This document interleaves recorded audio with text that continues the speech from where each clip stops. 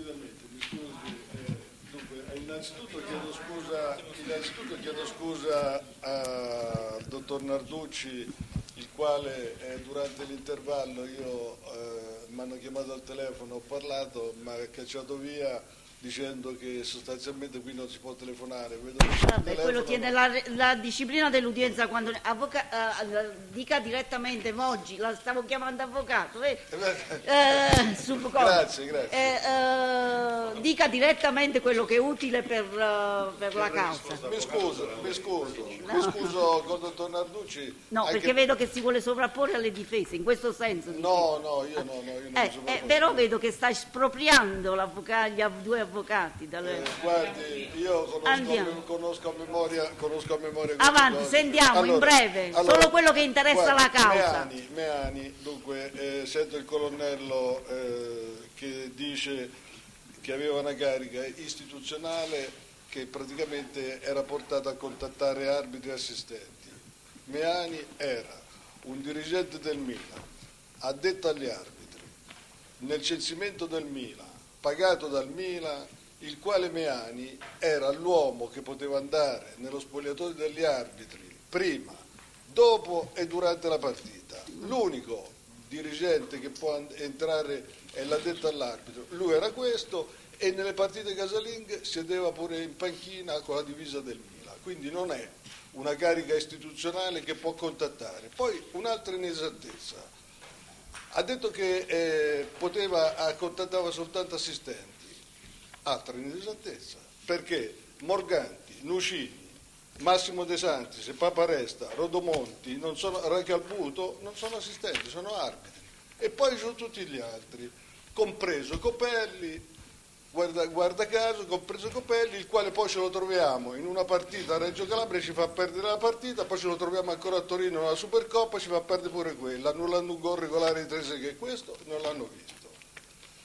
E questa è una cosa spiacevole. Poi per quanto riguarda eh, praticamente il dossier eh, che in pratica è stato citato di Mazzini, guardi, Mazzini, io l'ho già descritto tante volte, è uno che parla molto, un bravo uomo, parla molto, eh, ha mandato ha mandato sto dossier per vedere quello che c'era. Io non ho neppure parlato, non ho neppure parlato con le due persone che erano incaricate a dare questo, l'ho mandato dall'avvocato, non le conosco neppure.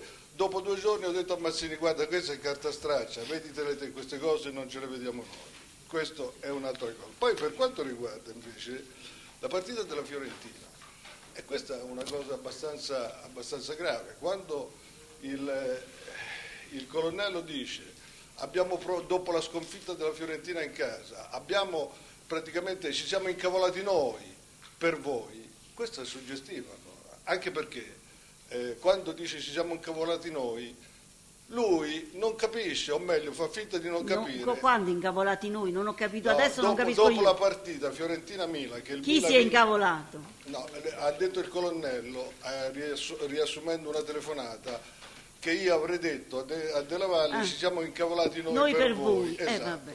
Allora, mentre io mi inca... Intanto la partita praticamente è decisiva eh, perché la, la successiva immediata era eh, Juven- Milan-Juventus a Milano. Allora, detto questo, eh, quando mi telefona, perché qui il concatenamento delle cose è abbastanza grave, mi telefona eh, dopo la partita e dopo aver fatto dichiarazioni sui giornali il signor Della Valle, il quale, il signor Della Valle, mi dice ha visto come ci hanno trattato, normale amministrazione di un qualcosa di persone che stanno 30 anni nel calcio, credo che non ci sia niente di strano a ricevere una telefonata da un presidente, anzi ne ricevevano una, 10.000 e di questo praticamente posso trarre un vanto perché in pratica vuol dire che le amicizie erano giuste. Allora, quando Della Valle mi chiama, quando, quando Della Valle mi chiama e mi dice che eh, è stato bistrattato, che do- doveva avere due rigori, che non gli sono stati dati, tutto quello.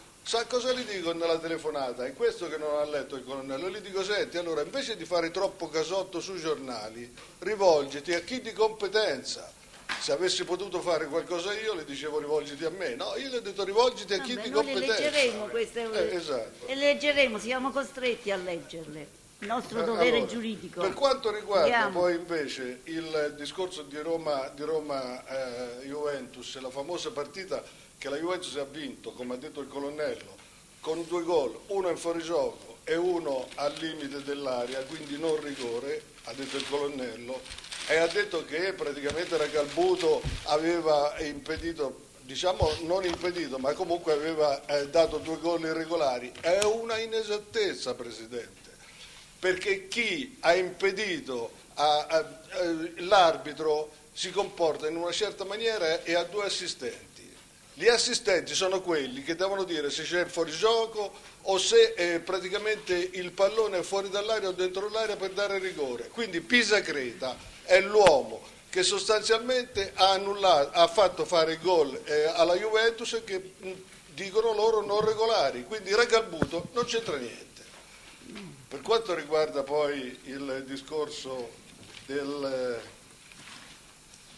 del, della Roma e quando si parla del telefonino, quando si parla del telefonino a Gabriele, vede, eh, qui bisogna stare attenti a quello che si sente dire, perché, perché il dottor Carraro il 4 novembre del 2004, in precedenza della partita Inter-Juventus, telefona al signor Bergamo e gli dice attenzione, non fare favori alla Juventus. Successivamente ha detto anche della Roma, ha detto anche della Roma, quindi la preoccupazione era quella che la Juventus andasse a Roma e magari non succedessero cose irregolari, per carità, su questo non c'è dubbio. Ma che il, il discorso di Gabriele venga portato come esempio perché ci fossero delle considerazioni poi durante la partita mi sembra una cosa decisamente inesatta. Anzi, anzi, c'è stata una telefonata, come ha detto il, il, il, colonnello, tra il primo e il secondo tempo, e non certamente da me, da chi l'ha fatta, da Bergamo, c'è stata una telefonata in cui si dice Attento che il primo gol era in fuorigioco, il che vuol significare un condizionamento in negativo per la Juventus nei confronti dell'arbitro, quindi era una cosa negativa per noi, perché quando ci sono le cose devono essere portate nella stessa maniera ma alla fine della partita, non durante, da chi che sia. E questa invece è stata una cosa che ha messo in condizioni l'arbitro evidentemente anche di sbagliare qualcosa, anche se non ha sbagliato niente, perché chi ha sbagliato è stato l'assistente. L'ultima cosa, Presidente, questa qua mi preme per, per far vedere come eh, sono state fatte queste, eh, tutte queste inquisizioni. Allora, prendo come esempio una partita tra quelle eh, che, siamo, che, che, che sono imputate. Allora, la partita è Juventus-Sandoria. In questa partita dice il colonnello dice l'informativa che il calciatore Simone Inzaghi, riserva della Sandoria, dico riserva della Sandoria, è stato squalificato nella partita precedente all'incontro Juventus e Sandoria. Quindi nella partita Juventus e Sandoria che la Juventus ha vinto 1-0, ha vinto perché questo giocatore Inzaghi che non giocava mai non ha giocato per squalifica. Premetto che la partita non è finita 1-0 per per, per la Juventus, ma è finita 0-1, ha vinto la Sandoria. Ha vinto la Sandoria. Detto questo, detto questo dunque, eh, non, te, non hanno evidenziato un'altra cosa molto più importante, che alla Sandoria mancava una riserva alla Juventus mancavano due titolari, mancava Zebina e Olivera, i quali Olivera la settimana prima aveva segnato addirittura un gol con, eh, con eh, l'Atalanta. Quindi i, le, chi andava male era la Juventus in quel momento lì. Ma non solo, oltre che sbagliare il risultato, non hanno messo in evidenza che in quella partita Juventus-Sandoria è stato ammonito per, ed era diffidato e quindi non è andato a Palermo a giocare, il giocatore Camoranesi, il miglior giocatore che c'ha la Juventus. Mi dica lei chi è stato danneggiato in questa partita. Io no. Eh, allora, quando si fanno le cose non si debbono fare per far del male, Bisogna fare le cose Vabbè, l'accusa tende a portare gli elementi di accusa, la difesa poi si difende. Ma vede, la difesa, gli elementi a suo conto. E Presidente, da, eh, da gli questo scontro accusa-difesa Eh, vediamo eh, che ne uscirà.